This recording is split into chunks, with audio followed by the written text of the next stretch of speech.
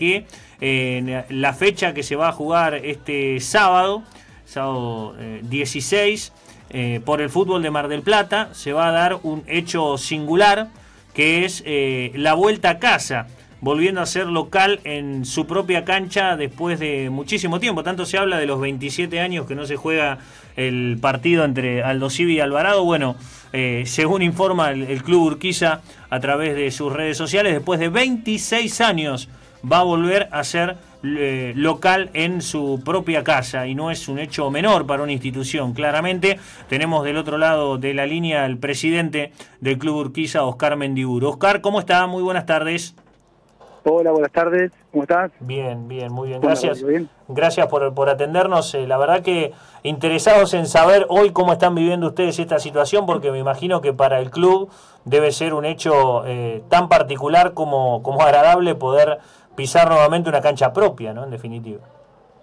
Sí, sin duda, la verdad que lo, vivimos con una alegría, eh, fruto de mucho trabajo, como todos saben, las situaciones la actual, digamos, de todos los clubes de, fútbol y los clubes de Mar del Plata es difícil muchas veces y la verdad que haber eh, organizado el club y poder armar todo para volver a jugar en casa eh, es algo fantástico. Mm, ¿Por qué se dejó de jugar en casa?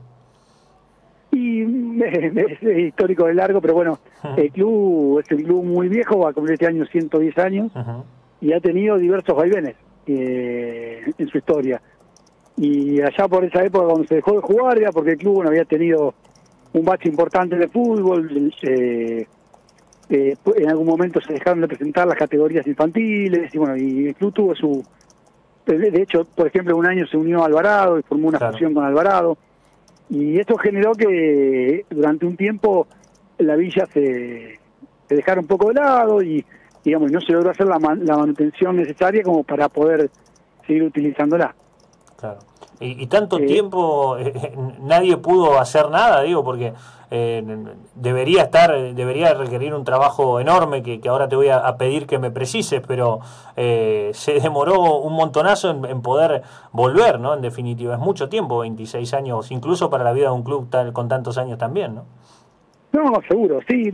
yo digo, nosotros decimos siempre que lo primero que hay que hacer es querer, hay que querer hacerlo. Claro.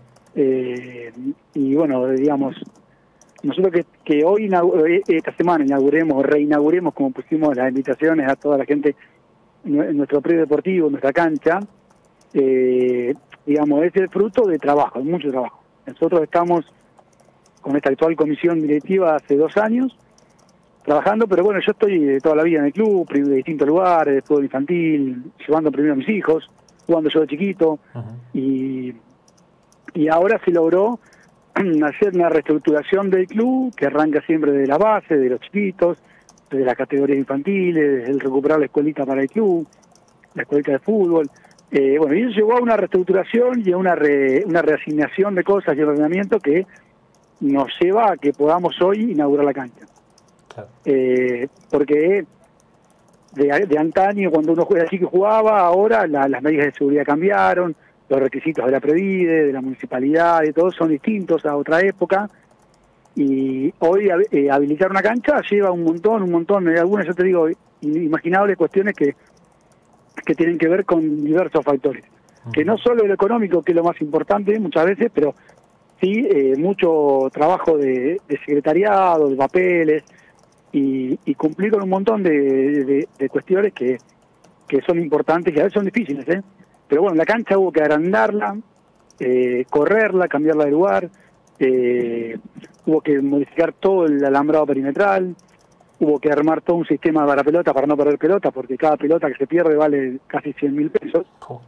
Eh, hubo que recondicionar, los vestuarios, los baños,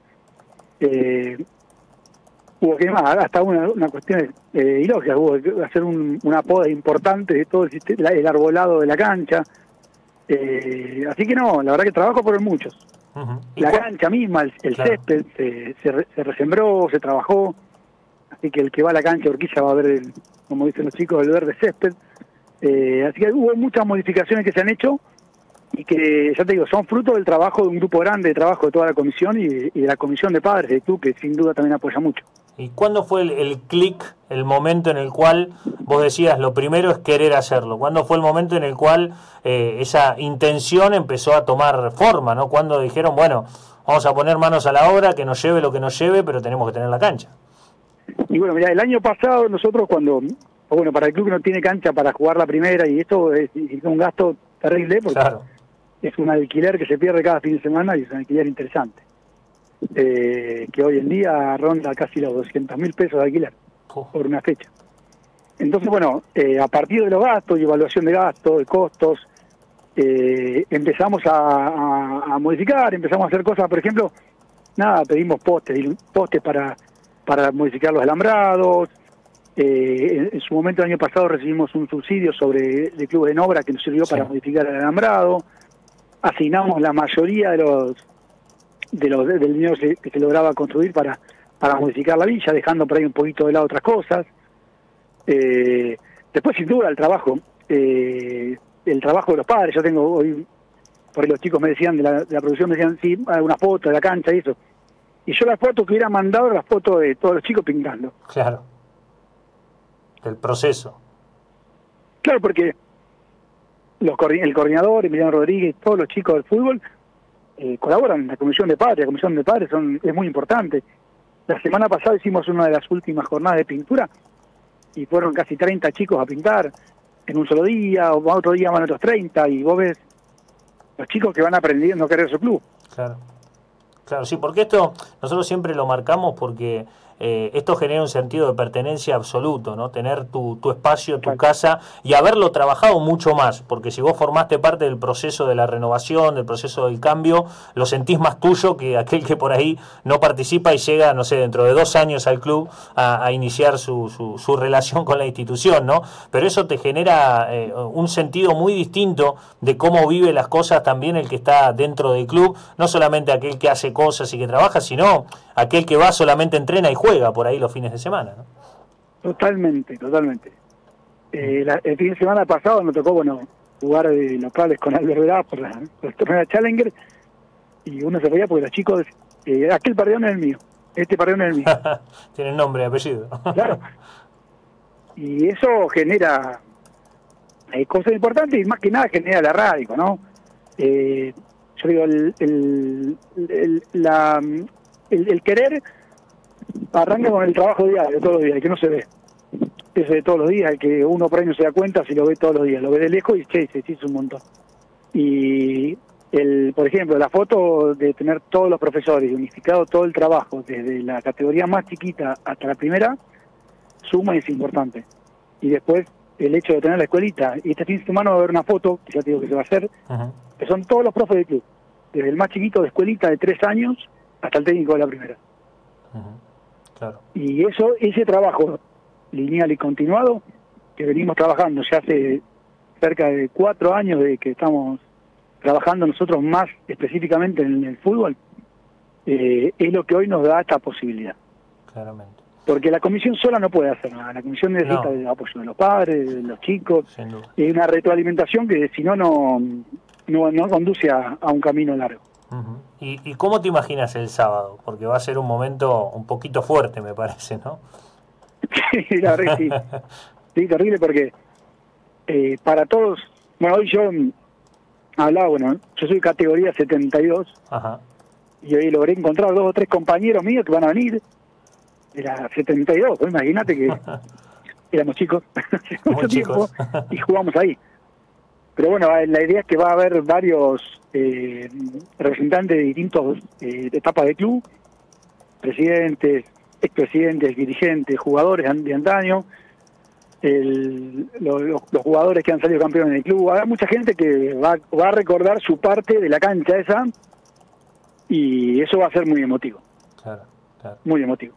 Claramente. Bueno, es lo bueno porque eso va a quedar grabado también en las retinas de, de, todos, ¿no? Porque uno siempre piensa en los chicos, ¿no? Y en, los chicos cómo van creciendo y en esto que hablábamos del sentido de pertenencia y, siempre ver a aquella gente que hizo grande el, lugar donde están parados eh, siempre es importante también, ¿no? E, esto a veces, un acto inaugural sirve como una excusa, pero que, los chicos vean ahí a, todos aquellos que trabajaron y que dieron parte de su vida, porque los clubes de barrio en la Argentina es dejar parte de tu vida ahí adentro eh, todo el tiempo. Te llevas un montón, pero también dejas un montón todo el tiempo. Está bueno para, para ese feedback, ¿no? De, de los grandes, de los que ya eh, ya pasaron sus épocas de cancha con los chicos y no tan chicos que van creciendo y formándose dentro del club, ¿no? Eso es fundamental en una institución.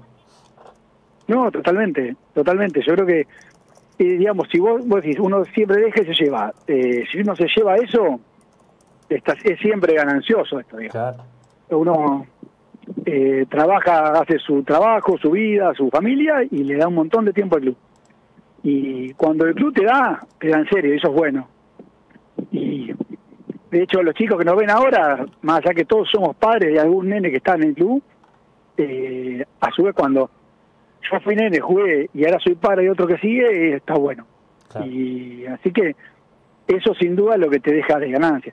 Y, y más que nada que los chicos crezcan sanos y en un grupo de, de trabajo, entrenamiento, realizando un deporte, eso es lo fundamental.